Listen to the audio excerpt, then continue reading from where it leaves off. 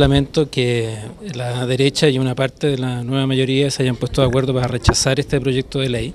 y que establezcan una limitación a lo que es eh, las posibilidades que el Ministerio Público tenga para poder perseguir delitos.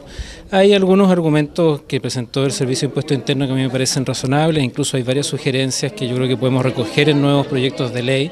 Esta es una discusión que tiene complejidad, que tiene, puede tener también matices muy legítimos, pero eh, uno de los argumentos principales que a mí me parece que no tienen fundamento es que sea solo el, el Servicio de Impuestos Internos el que pueda tener fundamento para presentar una acción penal,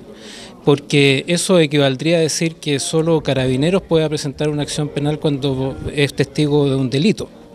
o que solo el servicio médico legal por ser el órgano especializado para acreditar un homicidio, ¿no es cierto? Si la muerte de una persona corresponde a un homicidio o no, sea a su vez solo él y no otro el que pueda eh, presentar una acción penal. Eh, ese argumento lleva a un extremo que termina siendo ridículo. Yo creo que cabe analizar más en profundidad esto eh, y creo que el voto de rechazo de la UDI y de otros